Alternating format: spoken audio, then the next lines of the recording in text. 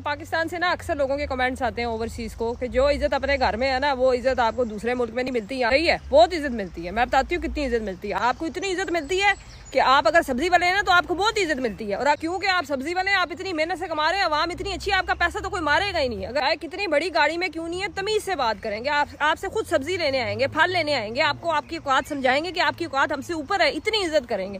फिर अगर आप इसके, किसी घर के काम बनी है तो आपको बाहर फंक्शनों पर ले जाएँगे तो अपनी सीट पर बैठाएँगे, आपको खाना खिलाएँगे, सब कुछ करेंगे, इतनी इज़्ज़त है। अपना तकिया, अपना खाना सब कुछ देंगे। जो इस्लाम रूल बताते हैं ना कि जो खुद खाना है, जो खुद पहनना है, जो खुद रहना, सहना करना है, वही अपने मुलाजमों को, वो सब करेंगे क्योंकि हम इज़्ज़त बहुत देते हैं।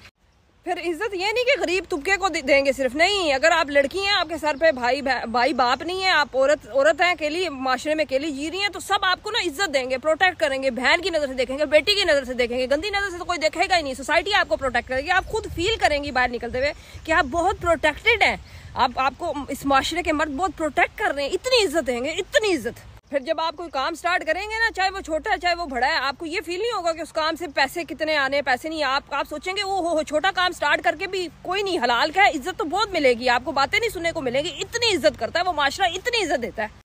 फिर आप रोड पे जाएँगे ना, कोई ये नहीं देखेगा कि आपकी गाड़ी कौन सी है। आप आप साइकिल पे तो नहीं, टूटी हुई मोटरसाइकिल पे नहीं है। आपका स्टेटस देख के आपको इज़्ज़त नहीं देंगे। आपको इंसान समझ के अपना मुल्क है तो अपना मुल्क है, अपने लोग हैं तो हम देंगे इज़्ज़त। स्टेटस नहीं देखेंगे। आप चाहे प्राडो में भी हो, दूसरा बंदा साइकिल में भी होगा, वो बहुत इज़्ज़त देगा, तमीज से बात करेगा। मैं कहती हूँ, आपको इतनी इज़्ज़त देंगे, इतनी इज़्ज़त देंगे, आप परेशान हो जाएँगे। आप, आपको उस मुल्क में आके, दूसरे मुल्क में आके पता चलेगा, आपको पाकिस्तान में कुत्ते ने काटा हुआ था, क्यों आ गए हैं? आपको तो उधर इज़्ज़त ही इतनी मिल रही थी।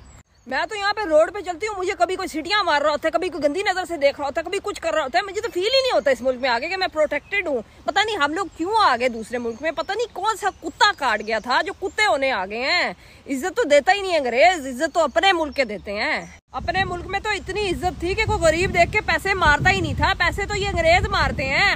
क्योंकि अंग्रेज़ थोड़ी मुसलमान था, मुसलमान तो हम है।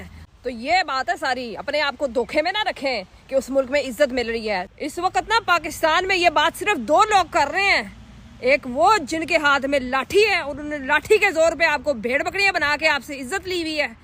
और दूसरा वो जो खुद भेड़ बकरी बना हुआ है इसलिए उसको समझ ही नहीं आ रही कि उसके साथ हो गया रहा है।